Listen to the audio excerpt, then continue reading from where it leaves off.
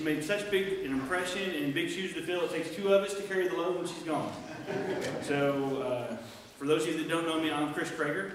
Uh, I'll be helping us get through worship today. I'm going to try to bring the word. I hope the Holy Spirit shows up and, and does most of the work there. Uh, I'm going to let Pastor Stan come up and introduce himself, and then we'll talk about little announcements and a couple other things.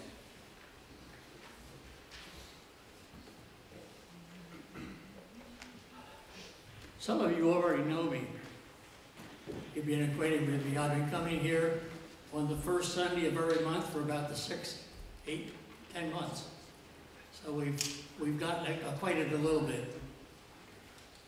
But you know, it's, it's, when I come, I sit right back over in here, and all I see is the back of your heads. From up here, it's much nicer.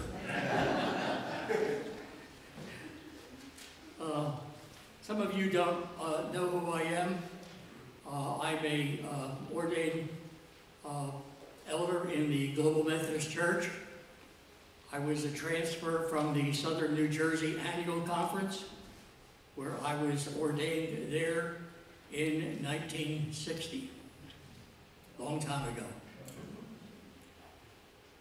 It was interesting, in 1955, I was a local preacher and I had a circuit of churches, and so I couldn't do communion.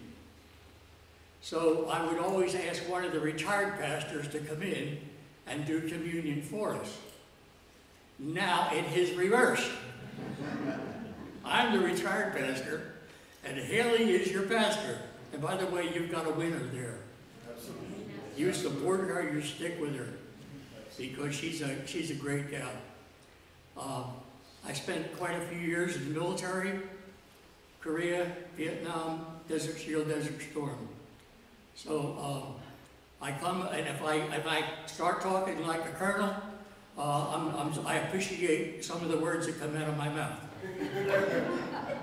but uh, we ask God's blessing on us in the service, and as we celebrate the Holy Communion, that the Holy Spirit will touch our hearts and our lives and give us a new walk in life.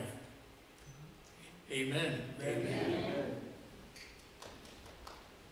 All right, just a couple of quick announcements here. You'll see the schedule in the bulletin. Uh, pretty much everything's like normal. A few people, maybe John Morrison's going to groan a little bit. There's no pickleball on Tuesday. You're going to have to get through. Um, but uh, find some time to come up and be a part of the church family, whether it's on a Wednesday for dinner or joining the choir. You're still open, right? Oh, yes, sir. Always open. 24 so, 7. so uh, find a time to come up and be a part of the church family. And, and speaking of being a part of the church family, uh, yesterday we had a little thing going on. So I'm going to invite Miss Ruthie to come up and, and give us a little update on that.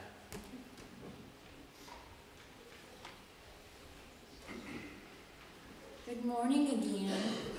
Yesterday was a little thing going on. It was called God's Christmas Market. We had raised $4,000.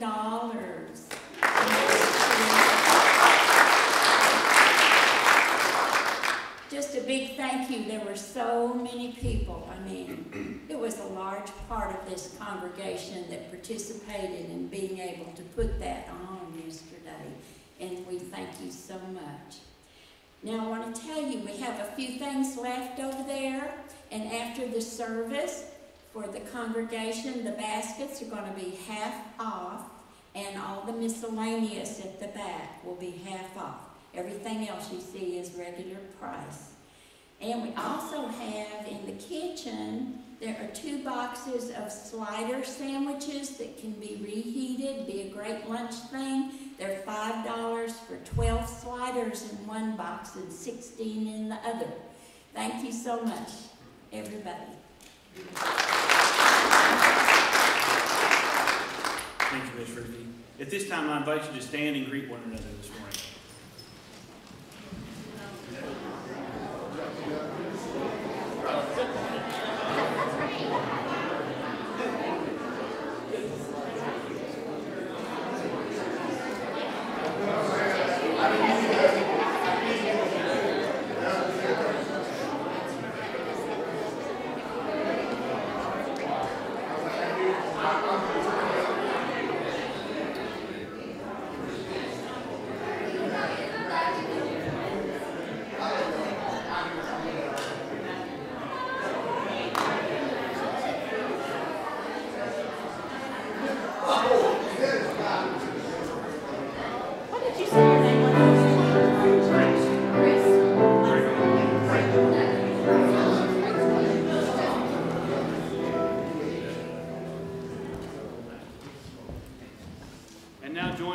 Call to worship. We come from a world of darkness into Christ's world of light. We come from a world of weariness into God's strength and hope. We come from a slumbering world. Strengthened by the Spirit, we come to awaken our souls and watch for the coming of Christ. We invite you to remain standing and join in singing our opening hymn this morning, number 162, O Come, O Come, Emmanuel.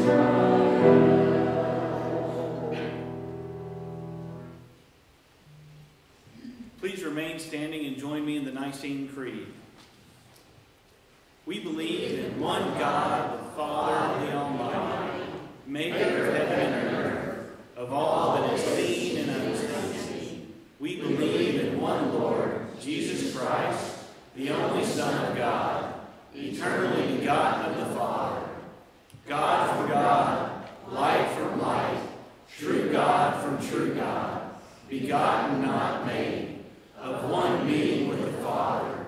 Through him all things are made. For us for our salvation, he came down from heaven, was incarnate of the Holy Spirit and the Virgin Mary, and became truly human. For our sake, he was crucified under Pontius Pilate. He suffered death and was buried. On the third day, he rose again in accordance with the Scriptures. He ascended into heaven and is seated at the right hand of the Father. He will come again in glory to judge the living and the dead, and his kingdom will have no end.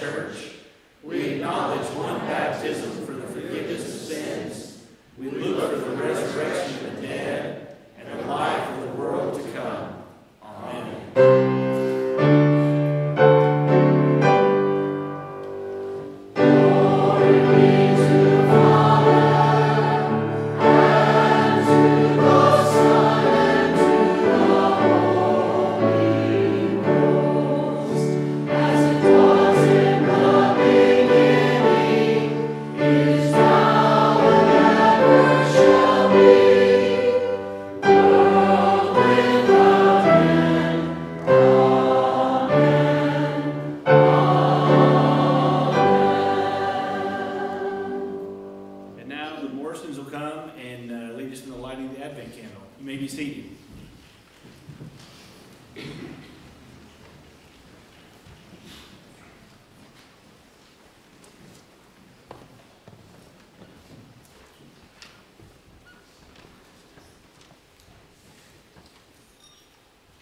Today is the first Sunday of Advent. I will be reading the scripture Isaiah 60, chapter 2, verse 3. See, the darkness covers the earth, and thick darkness is over the peoples. But the Lord rises upon you, and his glory appears over you. Nations will come to your light, and kings to the brightness of your dawn. We light this candle as a symbol of Christ our hope.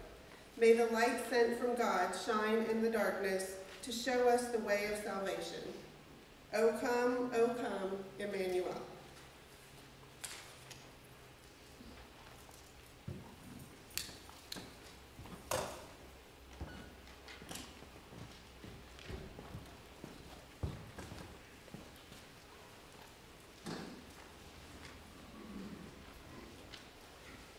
Lord, bow bow our hearts and our minds and our love and our uh, very being before Almighty God. Gracious and eternal God, creator of all the universe and creator of each and every person here. Give us your, your truth and your way and your life, O Lord. Enable us to walk more humbly with our God to walk as disciples who are in the business of making other disciples. Guide us by your grace, enable us in your love, descend in the power of your Holy Spirit. Lord, we also lift up uh, those who are listed in our program who are sick and laid aside for one reason or another. Lord, that you would, in your power of your healing Holy Spirit, come and touch those lives enable them to recover and be continual witnesses of your saving and redeeming power. Lord, we ask all these things in the precious name of our Lord and Savior Jesus Christ. And everybody said, Amen. Amen. And now we'll turn to the saying our, our Lord's Prayer as a congregation. So in the words that Jesus taught us to say, let us pray together. Our Father, who art in heaven, hallowed be thy name. Thy kingdom come, thy will be done, on earth as it is in heaven. Give us this day our daily bread, and forgive us our trespasses, as we forgive those who trespass against us. And lead us not into temptation, but deliver us from evil. For thine is the kingdom, and the power, and the glory forever. And now the ushers come forward for the receiving of the tithes and offerings.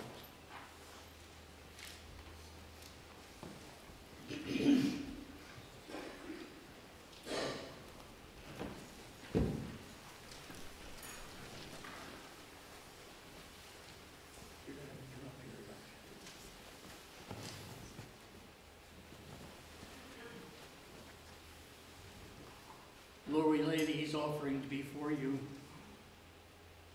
that we may be able to equip the things which are of God. Guide us, Lord, in, in sharing with one another. We may, we may meet the needs of the poor. We may need, meet the needs of the, of the, of those who are in great and, and serious need. That Jesus may be glorified in all which we say and do. In Jesus' name, amen. amen.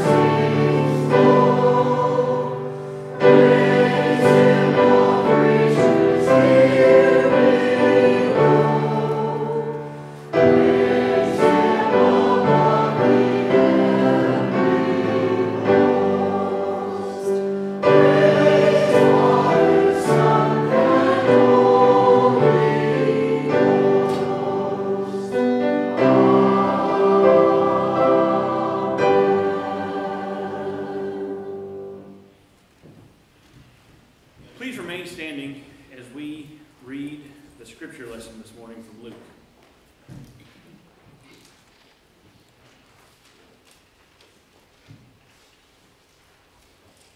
Today's lesson comes from Luke chapter 1, verses 26 through 45. In the sixth month of Elizabeth's pregnancy, God sent the angel Gabriel to Nazareth, a town in Galilee, to a virgin pledged to be married to a man named Joseph, a descendant of David. The virgin's name was Mary. The angel went to her and said, Greetings, you who are highly favored, the Lord is with you. Mary was greatly troubled at his words and wondered what kind of greeting this might be. But the angel said to her, Do not be afraid, Mary. You have found favor with God. You will conceive and give birth to a son, and you are to call him Jesus. He will be great and will be called the Son of the Most High. The Lord God will give him the throne of his father David, and he will reign over Jacob's descendants forever. His kingdom will never end. How will this be? Mary asked the angel, since I am a virgin. The angel answered, The Holy Spirit will come on you, and the power of the Most High will overshadow you. So the Holy One to be born will be called the Son of God. Even Elizabeth, your relative, is going to have a child in her old age, and she who is said to be unable to conceive is in her sixth month. For no word from God will ever fail. I am the Lord's servant, Mary answered. May your word to me be fulfilled. Then the angel left her. At that time, Mary got ready and hurried to a town in the hill country of Judea, where she entered Zechariah's home and greeted Elizabeth. When Elizabeth heard Mary's greeting, the baby leapt in, in her womb, and Elizabeth was filled with the Holy Spirit. In a loud voice, she exclaimed, Blessed are you among women, and blessed is the child you will bear. But why am I so favored that the mother of my Lord should come to me? As soon as as the sound of your greeting reached my ears, the baby in my womb leaped for joy. Blessed is she who has believed that the Lord will fulfill his promises to her. The word of God for the people of God. Thanks be to God. You may be seated.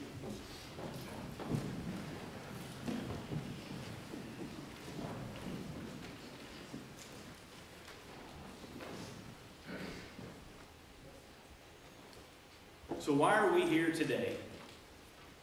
Because God has called us to be in relationship with Him. Today is the first Sunday of Advent. We are preparing, we are anticipating the, arrival, the arrival of the Messiah.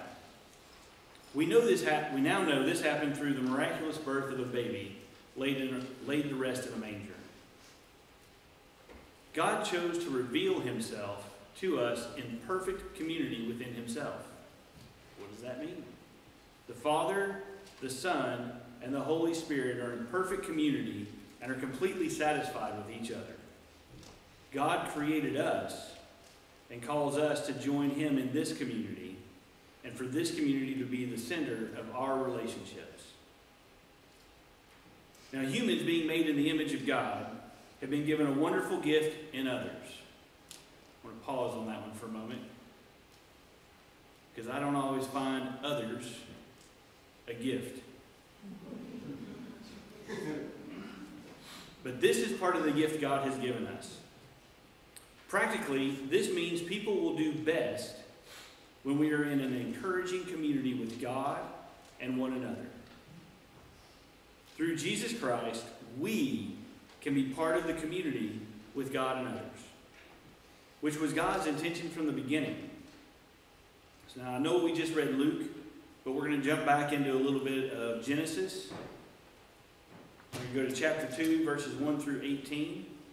And we get a, a sneak peek at some of this idea that God had about community from the beginning. Starting in chapter 2, verse 18. The Lord God said, It is not good for the man to be alone. I will make a helper suitable to him. Now the Lord God had formed out of the ground all the animals and all the birds in the sky. He brought them to the man to see what he would name them. And whatever the man called each living creature was that that was its name. So the man gave names to all the livestock, the birds in the sky, and all the wild animals. But for Adam no suitable helper was found. So the Lord God caused the man to fall into a deep sleep. While he was sleeping, he took one of the man's ribs and then closed up the place with flesh. Then the Lord God made a woman from the rib he had taken out of the man. And he brought her to the man. And the man said, This is now bone of my bones and flesh of my flesh. She shall be called woman, for she was taken out of man. That is why a man leaves his father and mother and is united to his wife, and they become one flesh. So in verse 18, we see God's attempt to make a, hoop, a helper suitable for Adam. Now, God saw it was not good for Adam to be alone. So, why is it not good? Because God created us and has called us into relationship with God and with others, to be in communion with God. So, how can we be called and created to be in communion with God and not be a part of a community? In relationship with God's people. Now, I'm sure everybody here probably knows somebody in their past that says, Oh, I'm, I'm a believer, I'm a Christian, I just don't go to church. I can think of a couple of names right off the top of my head that have told me that over the years, some more years ago than I'd like to admit. But it's about this community. This is where we practice this relationship with God. Now, how do we see that unfold? Well, a little thing happened yesterday. God's Christmas market happened. Now, I didn't actually make it to the market, Ruthie. I was there early. I was there early. And I didn't set anything back, Kurt, for a pre-sale or stash anything good to get later at 50% off. I, I just looked around and was amazed. It took me back to 2019 and, and beyond. Um, it, it, made me think of the old women's uh, Christmas bazaars that we used to have every year about the same time, give or take a week or so. Now, if I'm not mistaken, back in the day, you folks took months and months to get ready for that event, right? All year. So 12 months to get ready for that event. She took three weeks to get ready this time. Now, I've heard some wonderful compliments about Miss Ruthie. I'm probably guilty of making some of those wonderful compliments about Miss Ruthie over the years. I could go into a long story about how much I adore Miss Ruthie, but I'll, I'll spare you and Miss Ruthie that. Because this was not Miss Ruthie's thing. She did not do this because she wanted to have me call her out right here. She did this because she's being faithful.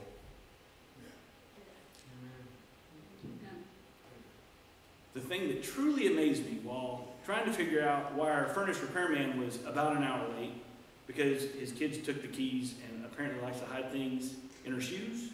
So he was looking for his keys. Talk to him about that later, John. It's a good time. So while waiting and enjoying the, the scene and the setting of the, the God's Christmas market that was set up, I saw something else that I thought was definitely of God.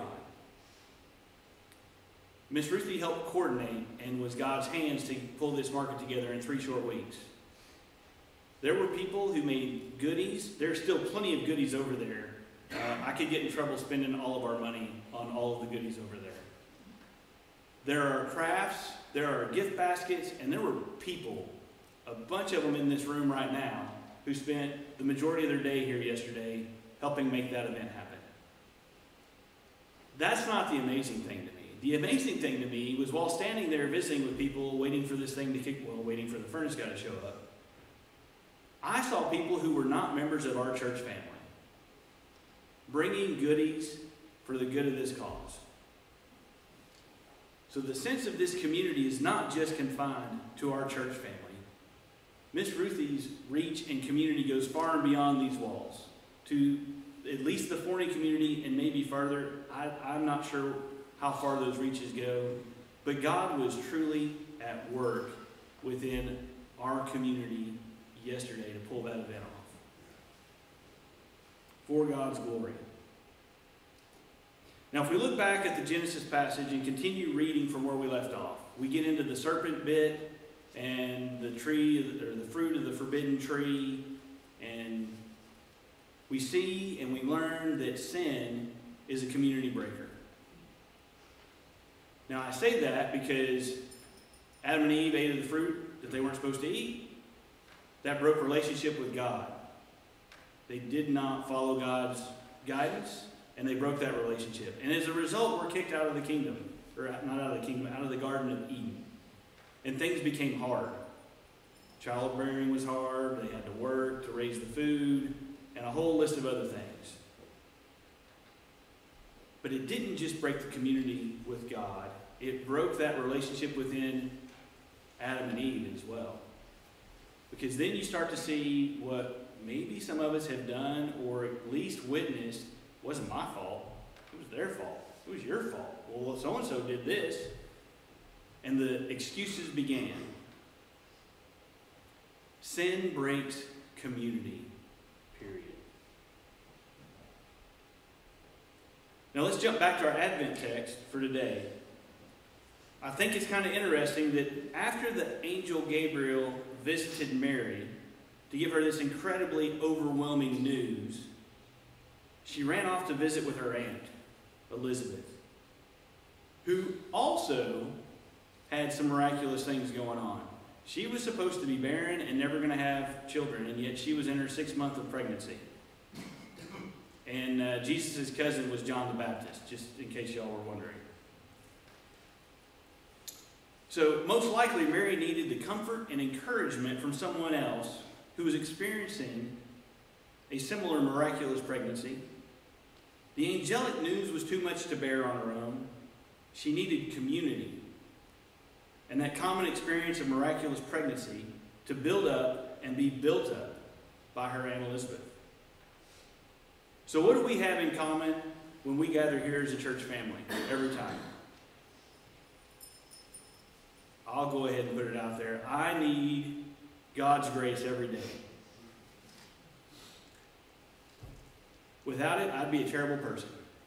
And there's some people that have been witnesses to some of that, and I'll just leave it at that. But without God's grace, I would not be a good person. And I suspect we're all here together because we all need that feeding and that care and that spiritual encouragement and grace from God. So, what can we learn from Mary and Elizabeth? To sum it up, it is to reach out to others and offer spiritual encouragement to one another. So, this community we're called to by God all begins through a relationship with Jesus. How do we meet Jesus? Well, today we're meeting him through his mother's pregnancy. So, if we were to go back and look at the, the passage this morning we read, Luke 1 26 through 33, this is where Gabriel comes in and, and just drops the news on Mary. Right? You're going to give birth to the Messiah, the Savior of the world. By the way, calling Jesus. And he's going to be great. He'll be called the Son of the Most High because God is sending his Son here. And, and you're going to give birth to him, and it's all going to be good. And, uh, and, and his kingdom will never end. Just a little tidbit, you know? What could possibly go wrong? So, how did Mary respond? If we go to the next section, verses 34 to 38, now this is where we get the really human response, right? That doesn't work. How does this happen? I, I, I don't understand. How will this work? And Gabriel explains to her, well, the power of God, the Holy Spirit, going to make you pregnant. That way, it will be Jesus will be the Son of God. And the even more amazing thing to me is Mary's response was, I am the Lord's servant. So be it. Let's do this. So what did Mary do next? She left to go visit with her relative, Aunt Elizabeth. I think Uncle Zechariah was probably there too, but he's kind of a side note on this. So in 39 through 40, we see where uh, she reaches out to her aunt, and what does her aunt do? Her aunt gives her a blessing. And that I will read one more time, assuming I can find it on the other page.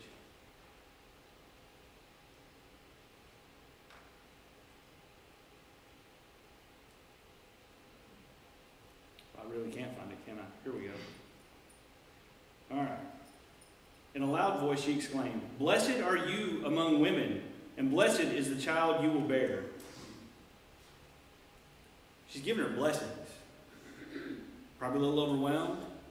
How am I going to be the mother of the Son of God? My Aunt Elizabeth is offering me blessings and telling me things are going to be okay. So, do you reach out and bring people in to your community, to this community? If you haven't, please do. What are you waiting for? If you have, do it again. After all, we are the Lord's servants. So God really loves people, which, as I alluded to earlier, kind of baffles me and makes my head hurt because that's that's hard. I, I'm not sure He knows all the people that I know, but He really loves people. So we need to value people as God does. Now I pray that God would give us the grace to do this because I know I cannot do it on my own. We will do best in community with God and His people. We do our best when we come together with a common goal, whether it is God's Christmas market, campus cleanup, spreading of wood chips on the playground, or almost two years ago, doing the final touches to get ready to move back into this space. We do our best together when we are actively being the Lord's servants together in community. Now, this Christmas, as always, it is good to reflect on the fact that that God loved the world so much that he sent his son so that we can be saved and called to join God's community. 700 years before Jesus came into the, onto the scene, the prophet Isaiah used the symbolic name Emmanuel to describe the coming Messiah. Emmanuel means God with us. God is now with us. There is now a space where God and humanity can dwell together, God invites us through Jesus to be a part of his community. Amen.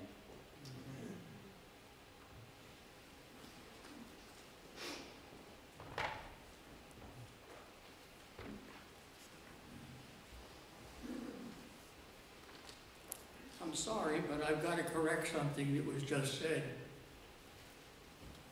The Bible was read that Adam said, Now she is bone of my bone and flesh of my flesh. That's not the way my Bible reads it.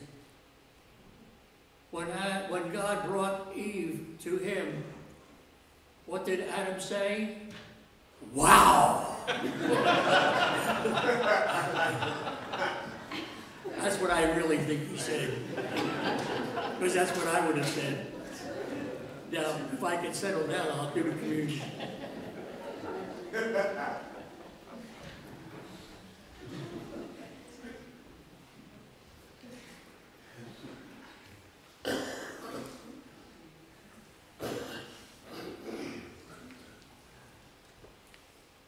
The service of table has been set and is ready to be open to all who will come.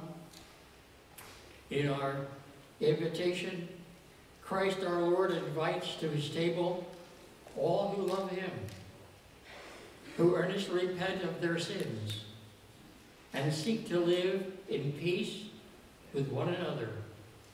Therefore, let us confess our sin before God and one another. Merciful God, we confess that we have not loved you with a whole heart. We have failed to be an obedient church. We have failed to do your will. We have broken your law. We have rebelled against your love. We have not loved our neighbor. We have not heard the cry of the needy. Forgive us, we pray. Free us from joyful obedience. Through Jesus Christ our Lord. Amen. Now hear the good news. Christ died for us while we were yet sinners. That proves God's love toward us. In the name of Jesus Christ, you are forgiven. In the name of Jesus Christ, you are forgiven. Glory, Glory to God. Amen.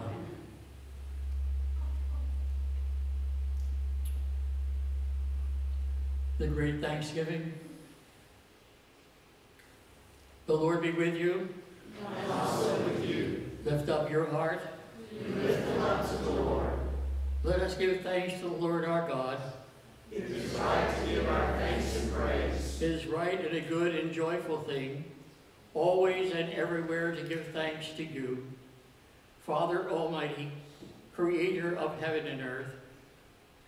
And so with your people on earth and all the company of heaven, we praise your name and join their unending, unending hymn. Holy, holy, holy Lord, God power and might, heaven and earth are full of your glory. Hosanna in the highest. Blessed is he who comes in the name of the Lord. Hosanna in the highest. Holy are you, and blessed is your Son, Jesus Christ. By the baptism of his suffering, death, and resurrection, you gave birth to your church, delivered us from the slavery to sin and death, and made with us a new covenant by water and by spirit. On the night in which he gave himself up for us, he took bread.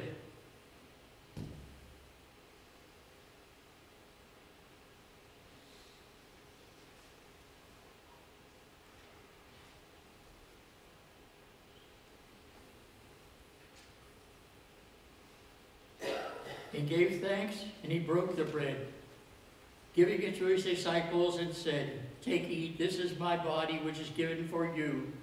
Do this in remembrance of me. And when the supper was over, he took the cup.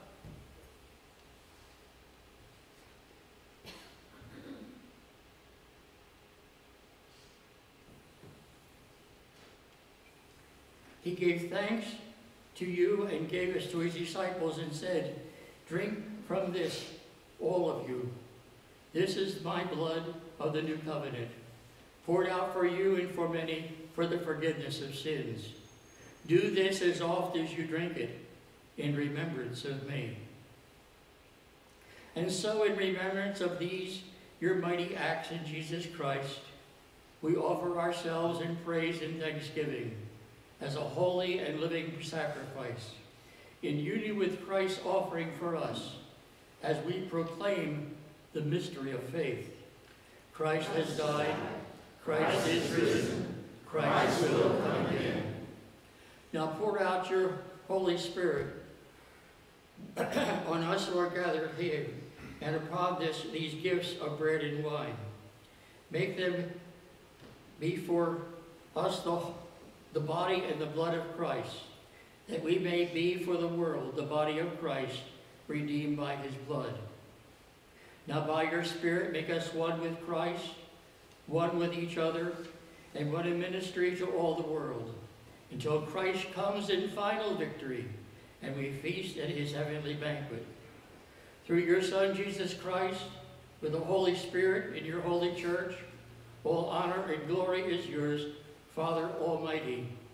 Amen.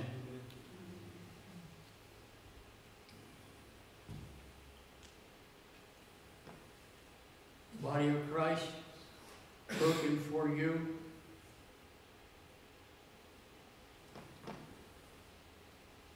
The blood of Christ shed for you.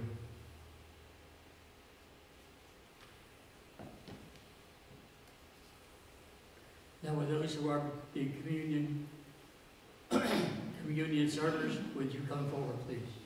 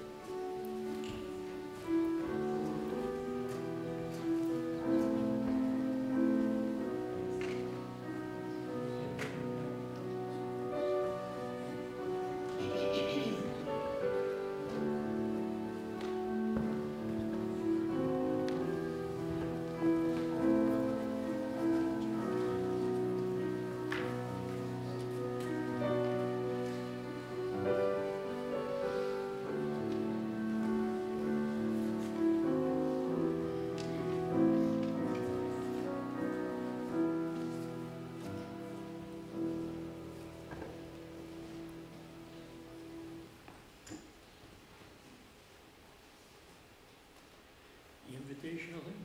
Yes, sir, we invite you to stand and join in singing our closing hymn, number 163, Come Thou Long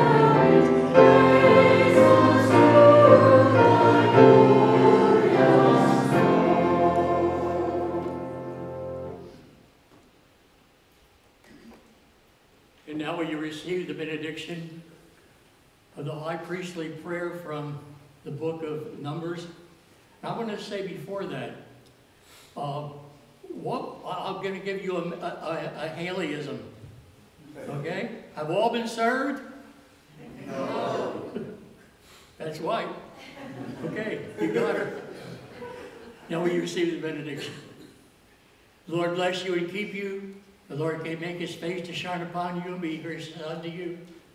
The Lord lift up the light of his countenance upon you and give you his peace. In the name of the Father, and the Son, and the Holy Spirit. Amen.